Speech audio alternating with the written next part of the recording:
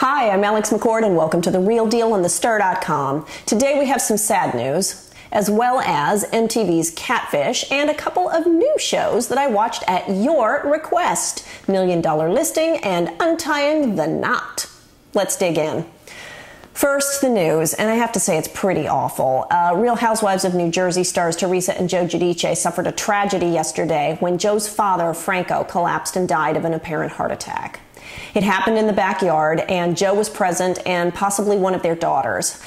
Uh, without commenting on their legal issues, I have to think that they are now throwing up their hands and saying, What now? What else? I feel awful for them. My heart goes out to the Giudices. Now, what was on television last night?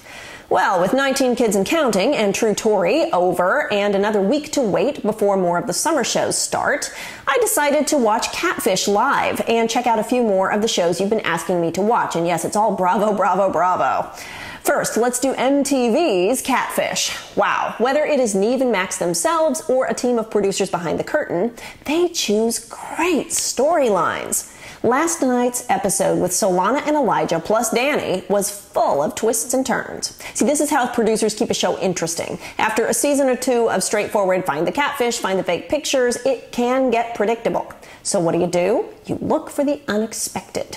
In this case, everyone watching television and everyone online was sure that Elijah was going to turn out to be fake. A woman, a brother, a dog, you name it. For those who missed it, Solana and Elijah met five or six years ago on MySpace when they were 14 and 16, and they quickly became best buddies. Then Elijah disappeared for two years, no trace.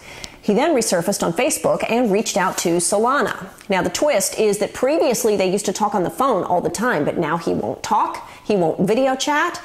But hang on, he's got a YouTube channel full of videos that get 50,000 plus views. Hmm. Also, Solana now has a flesh and blood boyfriend, Danny, and she doesn't want to take things to the next level with Danny before she gets Elijah out of her system. Fair enough. Now, enter the multiple profiles. Looking Elijah up online generates a slew of fake and imposter, imposter profiles, so of course that's another red flag.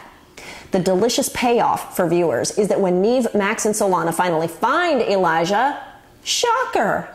He's exactly who he says he is. Kind of looks like Christian Siriano if Christian were a skater who lived in Minneapolis. Um, anyway, Elijah also has plausible enough excuses and explanations for everything.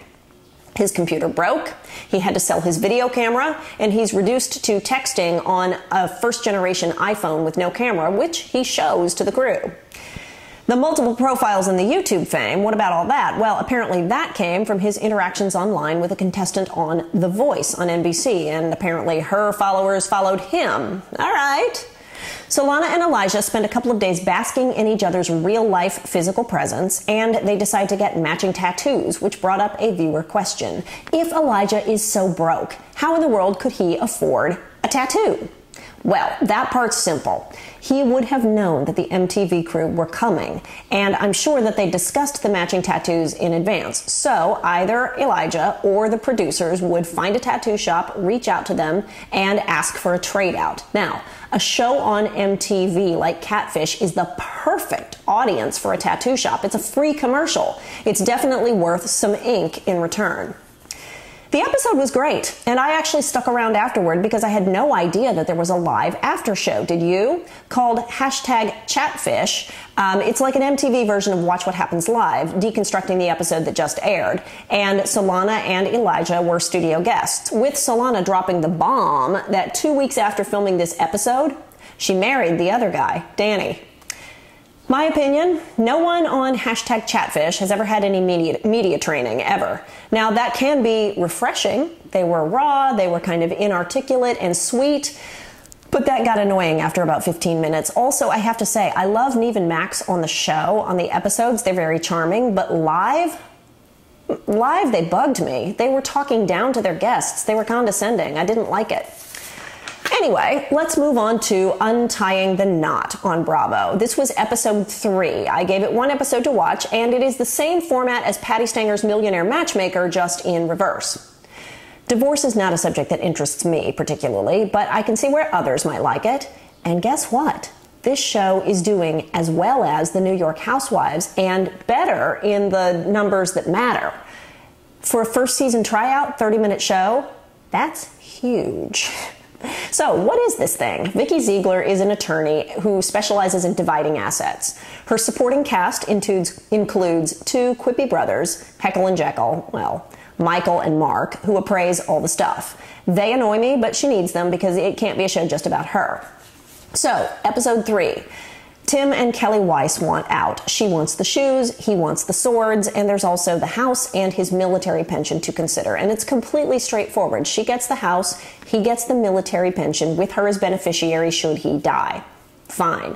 The only question I had is what happens when he gets remarried and maybe has children? Then that beneficiary situation would have to change. Because each episode of Untying the Knot is its own full story, you can pop in and out. You don't need to watch every single episode in order. Now, that could be great for selling into secondary markets, syndication, reruns, all good. So, Vikki could, in fact, become the Patti Stanger of divorce. What do you think? Finally, last night, I skimmed through the part one reunion of Million Dollar Listing New York. Now, this was the first time that they were on the couch with Andy and not on a Watch What Happens Live mini reunion. I've never seen a single episode of their three seasons, although I think I met them once when I was out one night with Sonja and I was drunker than she was, which I know is an accomplishment. anyway, is this not the first time that the Housewives reunion format, filming all day in a location with the couch, etc., has been applied to men? There's Andy on the couch, surrounded by Fredrik, Luis, and Ryan, and Andy looks like he is in paradise. See, Andy Cohen has a tell that's obvious. Well, it's obvious to me anyway. It's really easy to see when he's actually enjoying himself and when he's just putting on the suit and, and doing it and being smarmy. To me, he looked like he was having fun. And how could you not? The boys gushed about hair, tight pants, tantrums, lying and cheating, and awards for performances in porn movies. in other words, the housewives with alpha males. I'll admit my eyes glazed over a little bit when they started talking about the minutia of their real estate deals because the only real estate deals that interest me are ones where my name's on the title. Um, however, Ryan proved that he is the most television savvy. Everyone snarked at Ryan for coming in last on total dollars earned, and he shot back that he chose deals to film based on the characters and backstory, not the sticker price. Well, guess what? He's right. Apparently, last year, Ryan did a deal that involved chasing a live pig, and that's all the fans remember. They don't remember the price of that actual deal. So, he learned from that experience, and this season he chose good stories. Did he make as much money? No. But consider this filming a reality show about the business eats up your time that you could spend doing the business. It slows you down in a major way, which is going to cause all the cast members to take a financial hit, particularly in real estate because that market moves so quickly. So it's in your best interest if you have to take the time to film something to make it memorable. Ryan was smart. My takeaway everyone on the reunion couch looked like they were genuinely enjoying themselves, which is more and more rare. I don't see myself tuning in for their seasons, but I might come back for part two of the reunion next week. What about you? Let me know what you thought in the comments. Please subscribe on YouTube and don't forget to look at the playlists if there's a particular show that interests you. For now, I am Alex McCord. You're watching The Real Deal on the Stir.com. See you tomorrow.